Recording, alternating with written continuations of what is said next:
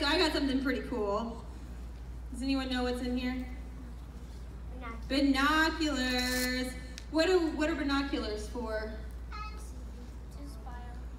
To spy on people.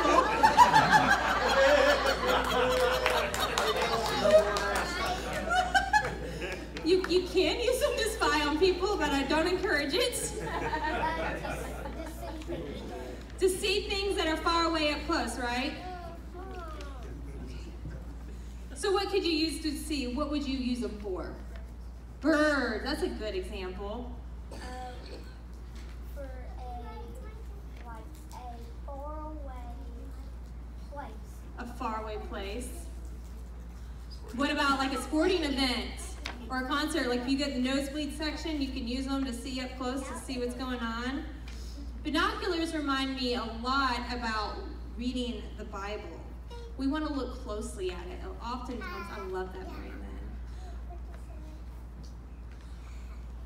Often at times when we read the Bible, we read it because we feel like we have to or because we're told to.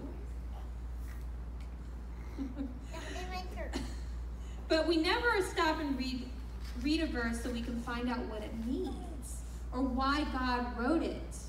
The Bible is full of examples of how we should live. The stories in the Old Testament is more than just a history lesson. They're there to help us find out how to live each and every day and how to obey God in every situation. The New Testament is an amazing place to find God's promises, and the message of the gospel is the best news in the world.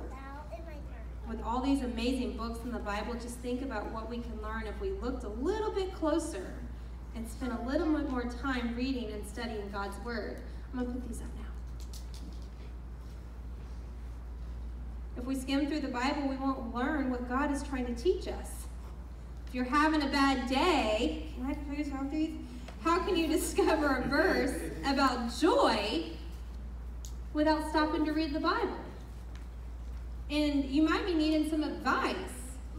Can God speak to you if you don't look closely and exam, examine the examples God gave us in the Bible? So remember these binoculars and remember to take a closer look at the Bible. Don't read it just because you feel like you have to or because you're told to. Don't just skim the verses. Really look deep. God gave us the Bible as an instruction manual, and He wants us to study it just like we would study books in school. You ready to pray? No. We're going to pray now. You ready to pray? Okay. God, we thank you so much for your Bible. We thank you for giving us examples of how to act and giving us words of advice. Your love is in there for us. Your grace is in there, Lord. And all we have to do is read it.